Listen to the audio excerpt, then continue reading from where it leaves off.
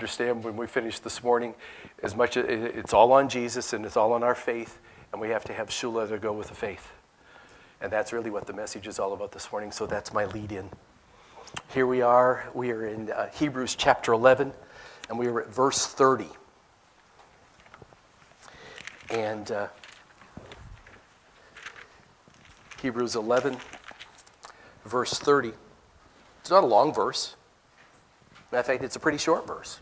If you consider all the verses in the Bible, it's not the shortest, but it's, it's, it's a pretty succinct verse. It was by faith that the people of Israel marched around Jericho for seven days, and then the walls came crashing down. That's the whole verse. Of all of the Bible stories, songs get made out of Bible stories, don't they? Away in a manger. You know what that one's all about, right? You, you, you, songs get made up. Well, probably one of the most famous songs that came out of the African American culture was about the walls of Jericho. Joshua fought the battle of Jericho, Jericho, Jericho. Whoa, whoa, whoa. Joshua fought the battle of Jericho, and the walls came tumbling down. Now, there's a couple of verses along the way. One of those verses says, You may talk about the men of Gideon, you may brag about the men of Saul, but there's none like good old Joshua at the battle of Jericho. Capsulize the book of Joshua condense the story in Reader's Digest version, and you get Hebrews chapter 11, verse 30. Now, how impossible is a wall coming down by people walking around in silence? Absolutely impossible. Though it was a promise from God that the impossible could happen, these people had to do something to act on their faith. God promised that a walled city, huge walled city, where scores of thousands of people lived, it had lasted for hundreds of years. Um, history tells us that Jericho is one of the first cities that is walled in the entire world. Now, unless you've got a way to bring a wall down that I don't know of, walking in silence wouldn't be the way. It would probably show up in the History Channel as infamous battles never won.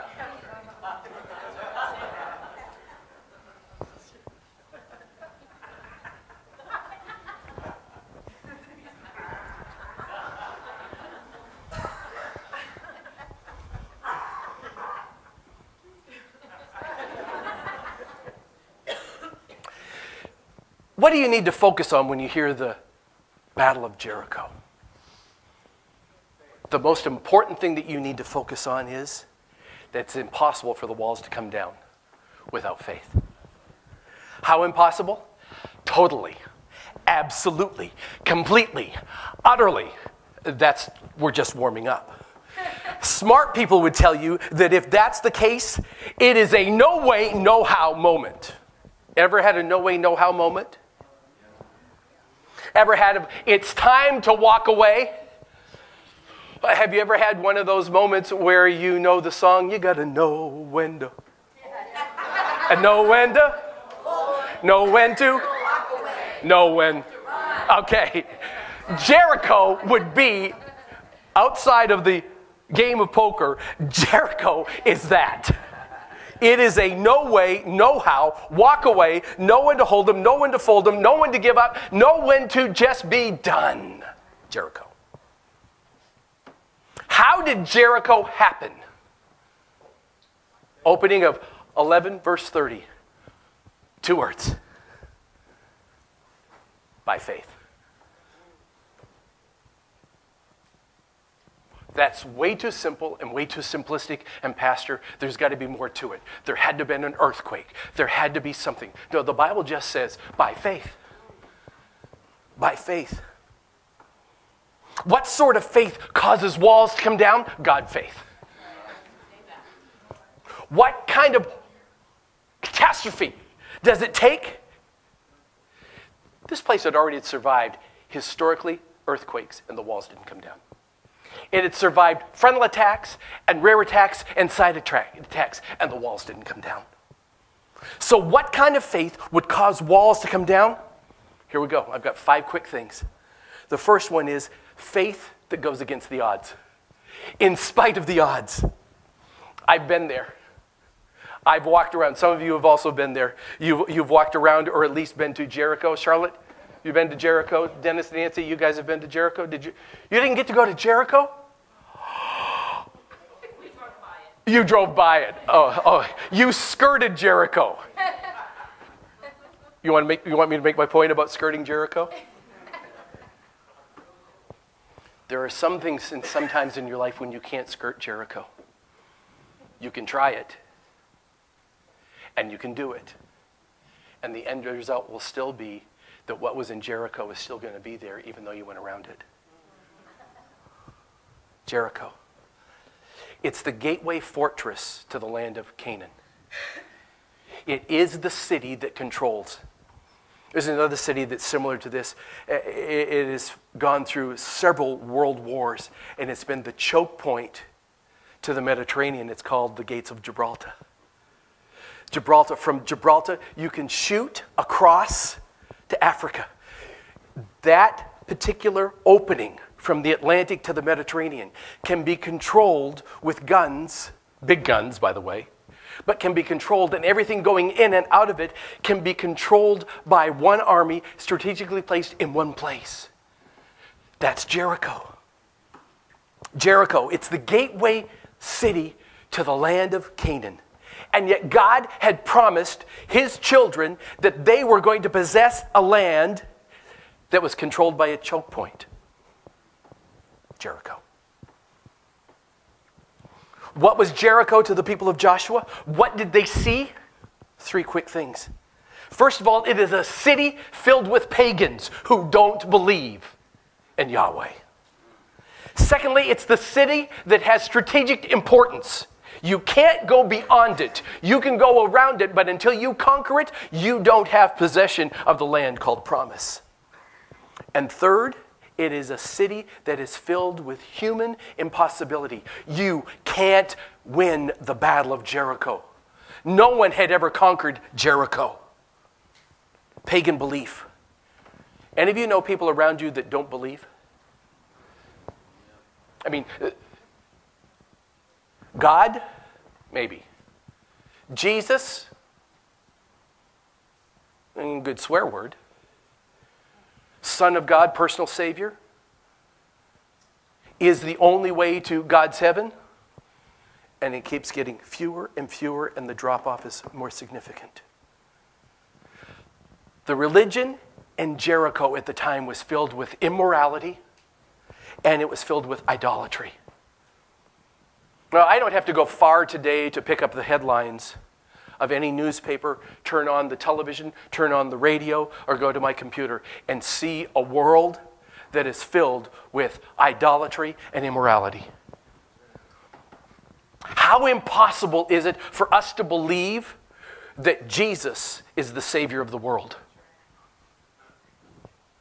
Everybody? We, we assent to it pretty quickly. But the reality is that without God and faith in Jesus Christ, this world is going to hell in a handbasket. We're living in a damned world.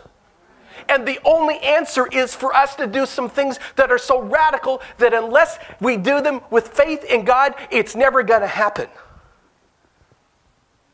This walled city was a city that was built with walls so high that according to Deuteronomy, when they looked at the city, Deuteronomy chapter 9, verse 1, these walls went to the sky. We're not, we're not talking about a little mound of dirt. We're talking about walled city. Walled city. What could the Jews, these people of promise, these recently freed slaves do in the face of such impossibility? They could understand pretty quickly that they were never going to go straight at that city and say, Our little army's going to take that city. They were never going to breach the walls. They were never going to scale it, climb it, and conquer it. Not going to happen. They had faith to believe in an impossible situation. I don't know what you're facing this morning. I can tell you my impossible situation. It's $170,000. That's the reality of my life these days. That's the reality of how impossible is it? I can't I can't believe, literally cannot believe that in the confines of these walls that the people who come here for worship have pledged $530,000. I can't believe it. What kind of an impossible situation are you facing? I don't know. But I'm here simply as your pastor this morning saying, by faith, if God could bring Jericho's walls down, by faith, God can provide $170,000. By faith, your situation that's as impossible as mine today, by faith, that's how we're going to live because this whole series has been all about faith, that we are going to go forward. How are we going to go forward? We're going to go forward with one step.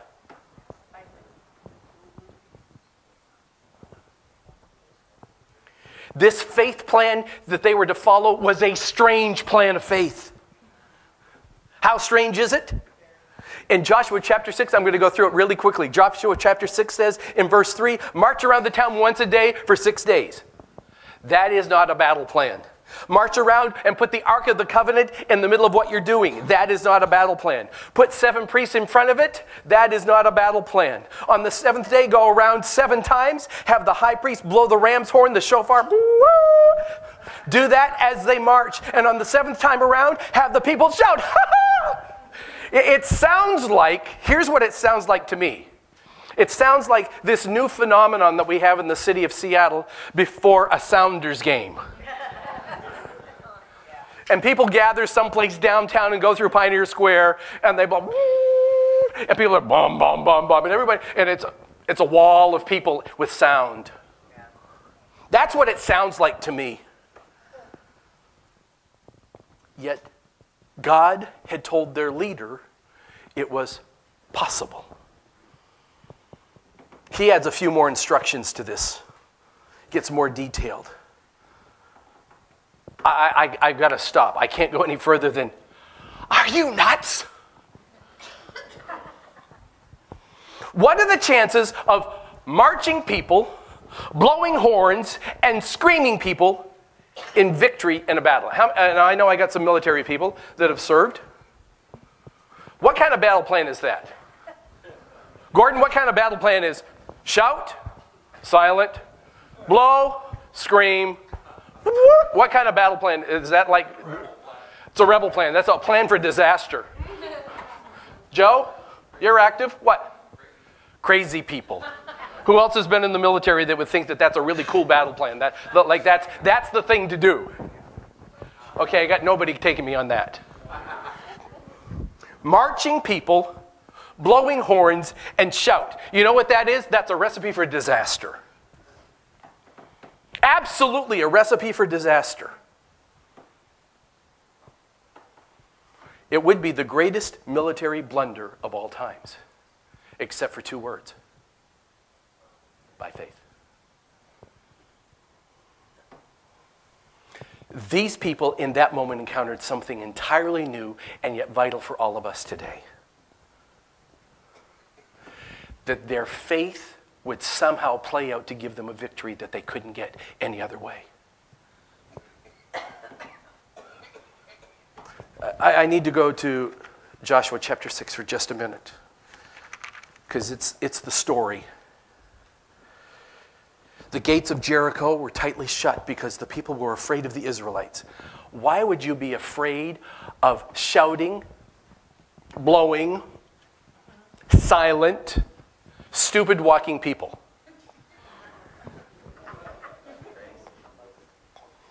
Got to get to verse 2. Because here's the moment that changes everything. If I were writing the story, I would have written the story this way. But the Lord said to Joshua, Go and I will give you the city when you get there. But if anybody's got your Bible, you will see that it is not a future tense phrase. It is not something that is going to happen in the future. How does God talk to us? We say it around here pretty regularly. God is in my future, just waiting for me to catch up, right? You've heard me say that at least one or two times. God is in my future, just waiting for me to catch up. When God steps out of his eternity and walks into the garden, in the middle of what we call the fall, he speaks from the voice of not one who talks about things that will happen. He speaks from the voice of where he stands, seeing it already done. I want to read you how the writer of old, Moses, records this moment. And the Lord said to Joshua, I have given you Jericho. Did you catch it? It's not a future moment. It is God from his future talking to Joshua in his present and telling him what the end result is already going to be. Any of you have seen the, the second movie of Captain America? And there is a moment in the movie where the arch villain starts blowing everything up because Captain America has shown up with his troops. And it's on a little video screen, it's black and white. And he, he says, his mad scientist says, Why are you doing this? And he says, Because the battle is already over. We've already lost. Why did the people in Jericho shut up? Because somehow they knew that they had already lost the battle. Oh, you, you, are just way too docile. It's, it's, I, I know it's, it's, it's, it, it, it, it's Labor Day weekend and you're already all tired out. Everybody, do you get this? God, from his position in time, spoke to a man in his present and didn't say, You will. He says, I have already given you. Now, if that doesn't instill some faith, I have already given you. Can I make it really personal? I've already given you a job. Okay, I'm going to make it really personal. And I'm going out on an absolute limb. And, and, I feel like Harley Thomas sawing himself off in that scaffolding in the potato house. And some of you have heard my story about my grandfather, because I'm sawing the limb off. And, and I'm not Shirley, what's her name?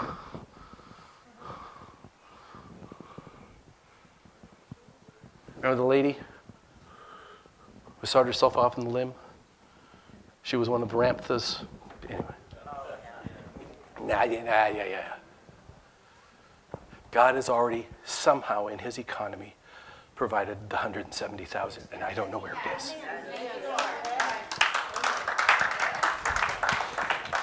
Great, there are eight of us that are in faith in the room in the morning. He didn't say, I will. He didn't say, I might. He makes the statement, I have already done it. Done deal. Walls are coming down. Done deal. You shouldn't be surprised when it happens. Done deal. When God shows up, He shows up because it's a done deal. In the real sense, the battle is over, just like the arch villain of the Captain America. We've got to blow everything up because the battle's already over. The other thing that God did that's interesting, God put Himself in the middle of the battle. God put himself in the middle of the battle because he put the priests carrying the ark in the middle of the battle. The ark, it's the most sacred thing in all of Christianity and Judaism. The Ark of the Covenant. It's just not a place that represents stuff that he did, it is the representation of his presence in the middle of his people. And he told them to take the ark and put it in the middle of the battle. I don't know what kind of battle you're in, but if you just could get the picture uh, that God Himself has put Himself in the middle of your battle. He put the ark out in front and He said, I'm going to lead this parade. He has put Himself in the middle of your battle and says, I, Will you follow me to where I know I want to take you?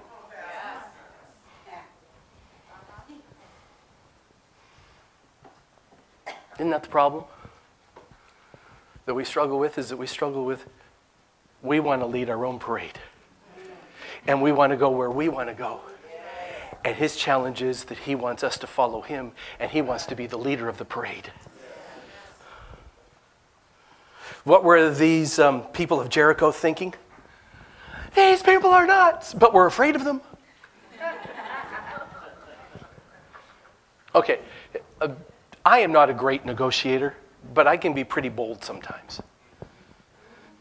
I walked in the middle of this phone conversation that started with this bank in Nebraska two weeks ago. And we had gotten rates for pieces of this from 5 to 7 and some places 8%. And several people just said, You're a church, and we won't even talk to. This particular group calls, and we have a phone conversation, and we send them some documents and back and forth. And I said, Here are my terms.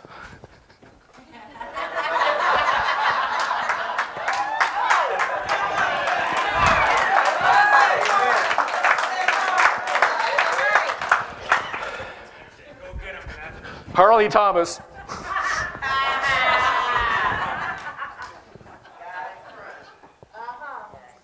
I'll take 20. I'd really like 25. No more than 5%. There was a silence on the other end of the phone.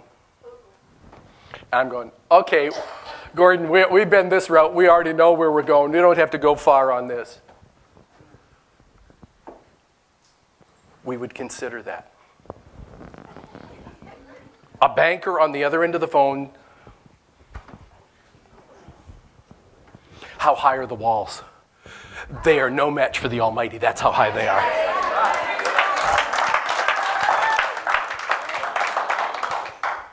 Marching people, horn blowing, shouting victory. Oh, and one more thing in the equation that changes everything God. And what does it equal? And the walls came tumbling down. That's what it equals. That's what it equals. It's God who made the difference in Jericho, and it will be God who is going to make the difference for you. Now, I can't do what the walls of Jericho did because I can't, I'm not double jointed in my elbows. And when I teach Walk Through the Bible, I don't carry um, liability insurance for those of you who aren't double jointed. So we always do the walls came in, because, but the walls actually went out. Because the hand of God them. came down. Robert Morrison is recorded to have been the very first missionary to take the Protestant faith to China. Wow. The first man to take the gospel. He's on the ship, and the captain goes to him one day and says, rather sarcastically, What do you think you're going to do? Convert all of China to this Jesus? Robert Morrison thought for a minute and came back and said, No. I don't think I'll ever convert one person in China, but I know God will.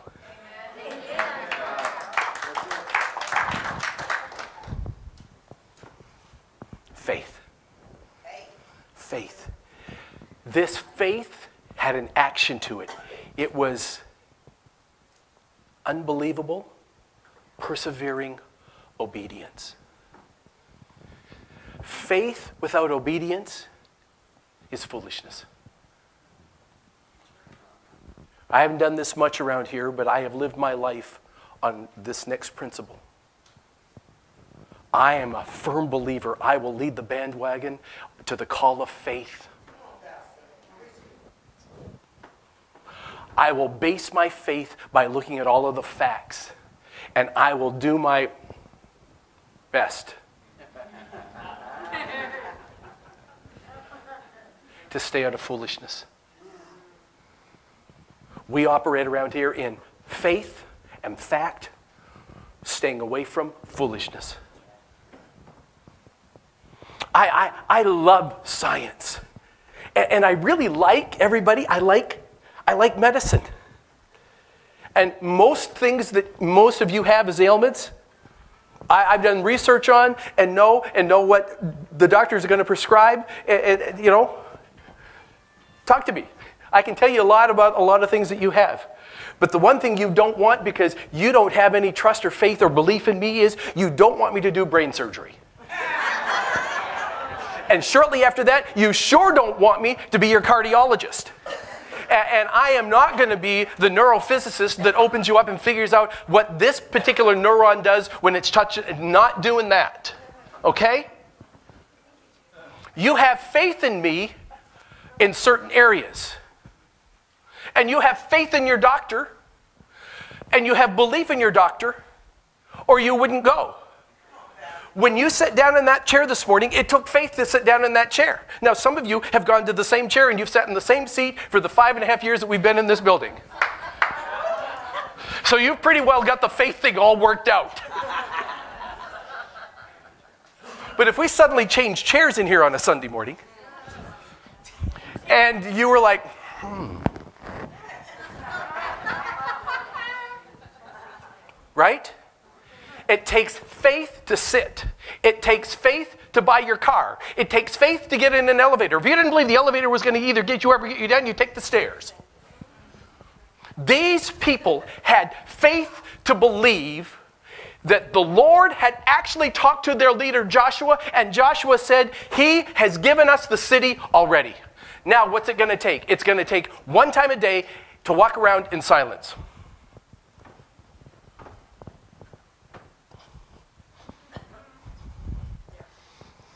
Now we're going home.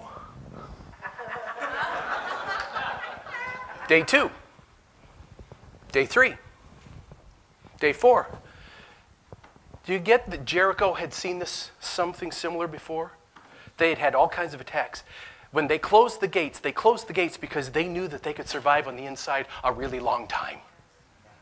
They had no idea that from beginning to end, this battle was going to be done in seven days. And in seven days, Jericho would no longer exist as they had known it.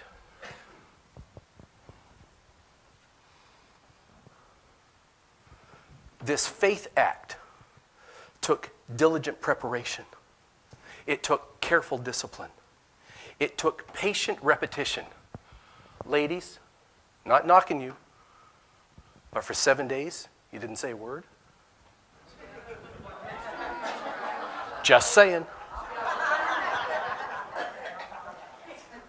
When it came time, it took audacious, decibel raising sound, complete obedience. But it also was wrapped up in, and I'm not spending long on this, intentional compassion.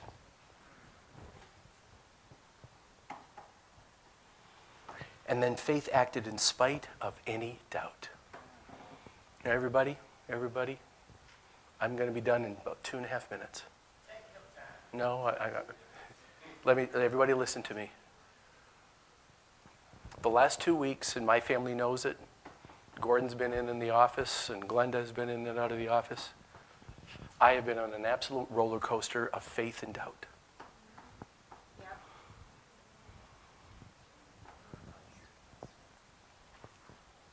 And the whole time I know I'm preaching this message. I have had stalling faith, and I have had awkward faith, and I have had doubting faith, but I have never wavered from faith. I don't know how it's going to get done. And my very nature is I'm trying to figure out always how it's going to get done. I'm not wired to do anything else. I'm not wired to do anything else. Vinyl and Mary Jane eh, raised a faith son that was firmly committed to facts. If you have to have 100% certainty of the end result, that's not faith. Not faith. It took unbelievable faith to walk around and say nothing. But God was in the middle, and they were being obedient to what they were called to do, and they did it. They did it. Hudson Taylor, the man who changed the missionary movement of the world, and particularly China itself. He saw God do amazing things during his ministry. One day he sat down and he was reflecting on faith in the face of hopeless circumstances. It's in your bulletin. He reflected on his experience and he remarked There are three stages in most great tasks undertaken for God impossible, difficult, done.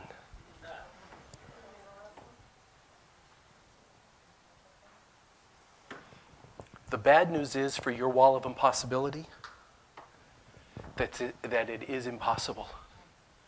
The good news is by faith, God. By faith, God. Impossible. Months ago, Gordon, we sat in my office, we're going, where are we going to go? You guys went and looked at church. Aaron and Charity went and looked at churches. We lo- looked at properties. We looked, we were up and down and in and around. And uh, Aaron drives by 62nd in middle of May, says nothing to me. I call him up two days later, say, I want you to meet me, and don't tell him where to meet. Just here's the address. The pastor lets us in because we're now standing on the doorsteps of Grace Lutheran Church. The for sale sign had been up about two weeks. That was the end of May. January 4th, Lord willing, we will be in the new building because we have to be out of here December 31st because this building is for sale. And we had no idea this building was going to go for sale. Our lease is done. We don't have a place January 1. By faith, God. Impossible. Difficult, difficult. $1.3 and a half million dollars, difficult. By faith, impossible, difficult. And now we're closing in on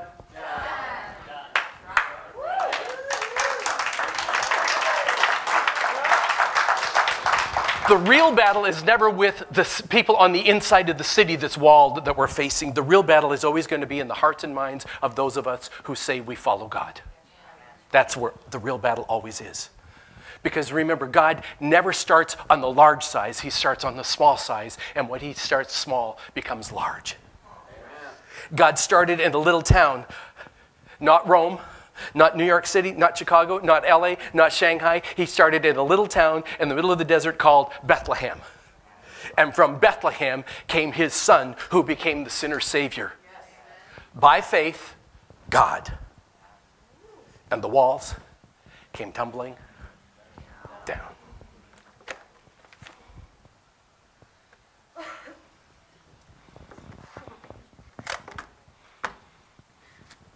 Come on up beside me, Mr. Gordon.